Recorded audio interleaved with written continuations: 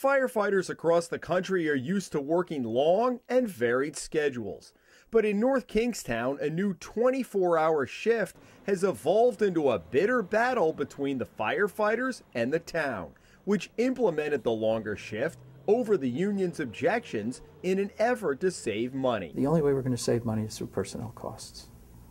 Um, the days of doing more with less are long gone. You're doing less with less. Town manager Mike Embury readily admits that the longer shift, which also increases the average work week to 56 hours, is a test case for Rhode Island, but that it has been successful in other parts of the country.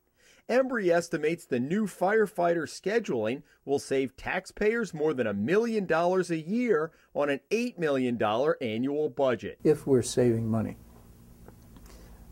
we don't have to make the drastic cuts that you're seeing around the country. I mean, if you look at places in Michigan, California, uh, Missouri, public safety and pension issues are the major issues, personnel issues, where the cost cutting is coming. It's so unsafe to do what we're doing now. Ray Furtado, president of the North Kingstown Firefighters Association, disputes the savings and says the town implemented the new schedule even though it couldn't get it through arbitration, then lost in Superior Court. Despite that, the town maintains as part of its management rights, it can adopt the longer shifts and work week. The union says that needs to be negotiated and took the town to court. We were in the process of trying to negotiate a contract. Uh, we came to the table with, with concessions and a number of different packages to try to save the taxpayers money, keep us safe, and overall benefit the community. And uh, it just a lot of our office just fell on deaf ears, and they were insistent on on implementing this this 56-hour work week structure. Here's how it works: firefighters work a 24-hour shift, then have 48 hours off which means the first two weeks they work 48 hours a week. But the third week of the month, it increases to 72 hours in one week, for an average of 56 hours a week over the course of the month. North Kingstown is the only department in Rhode Island to have a 56 hour standard work week schedule on top of the 24 hour shift. The shift has allowed the town to reduce the number of platoons from four to three meaning overall it needs fewer firefighters to meet minimum manning requirements. The town initially wanted to implement the new system with no pay increase. It doesn't make a lot of sense to move from a 42 to a 56 hour work week and keep people's hourly rate the same because you're not you're costing yourself a lot of money. This was uh, going against all the systems that were in place like collective bargaining and arbitration and it was wrong. Town Councilman Chuck Brennan, a retired North Kingstown police captain, opposed the new shift, but was on the losing end of a 3 to 2 vote by the council to approve it, with the provision that firefighters would get a 10% pay increase to cover the 33% increase in hours. The system might not be so controversial if the fire department hadn't decreased in manpower by nearly 30% over the past five years from a high of 80 firefighters in 2007 to 56 currently. Of those, four are not available to work because of injuries, which means if there's a sickness or vacation and someone doesn't volunteer for overtime, others are mandated to stay and work an extra 24 hours or longer. Everybody's being forced to, to essentially play the Russian roulette game and wonder if I go into work on Thursday morning, when am I coming home again? It might not be until Saturday night. It might be Monday morning. I mean, you never know. The two sides disagree on whether overtime costs will eat up projected savings, and the town won't know for sure until the end of the budget year. Last week when we spoke, I just pulled up the daily run sheet for that day. We had one firefighter was on 100 hours of straight duty. His last shift, at the end of that, the tail end of that 100 hour shift, he was the 911 operator.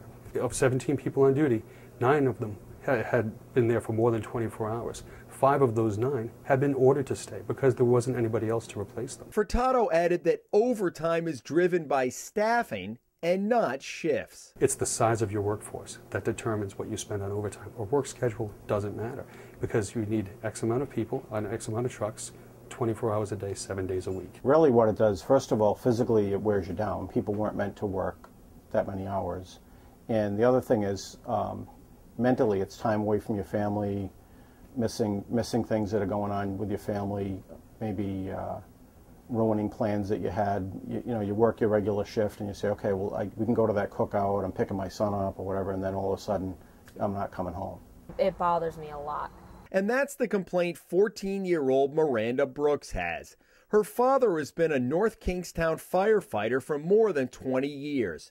Because her parents are divorced, Miranda says the new schedule has made it even harder for her to spend time with him. We just kind of lost our closeness. I can imagine like what all the other kids are feeling, like because they're used to seeing their dad every single day. There's been a lot of uh, brouhaha that, well, this is not safe. Well, you get to sleep. You have the ability to sleep on a 24-hour shift. Embury says in 2011, the department responded to just under 4,800 calls. If you do the math, he says, it works out to an average of just over three calls per station per day. When you go through the call data over the years, I think, you know, it lends itself to people being able to sleep and getting rested, whether you're on a 24 hour or you're on uh, a 14 or a 10. But there's no guarantee of that. You could have a busy night. You might have a busy night. There are some days where you might have 20. There are days when there's four for the town in the 24 hour period. It is a change for, um, for family life. There are a couple of people who've talked about that, and yes, understand that, but some of those very same people didn't have a problem working a regular 10, a 14 on overtime, stay there for the regu second regular 10, and then pick up another 14 on overtime before they went home. The town has four stations, including a new one in rural Slocum that is staffed by two firefighters. So is Station 2 in Saunderstown. Each of the stations has beds to sleep in, and the firefighters have provided many of the amenities. He says there's ample opportunity for your membership to be to get some sleep, mm-hmm. and that it's not a safety danger even when somebody's mandated to go the, the extra the, the 48 hour. Now you could have a busy time here and there, but he said overall that there is adequate sleep for your guys and gals. How do you react? Uh, truthfully, it's it's the nature of this business is that you don't get a guaranteed rest period. I mean, so many other industries have regulations on how many consecutive hours you can work. Whether if you're a medical resident, if you're a truck driver, if you have, if you're a nurse, there are there are different professions. So many of them have regulations saying you can't work any further than this because it's unhealthy, it's unsafe, whatever it is. For the fire service, that doesn't exist. The few places that work 24-hour shifts in this state have provisions in place so somebody doesn't work over an excess amount of time. There's none of that in North Kingstown. In fact, there is no maximum number of hours a firefighter can work.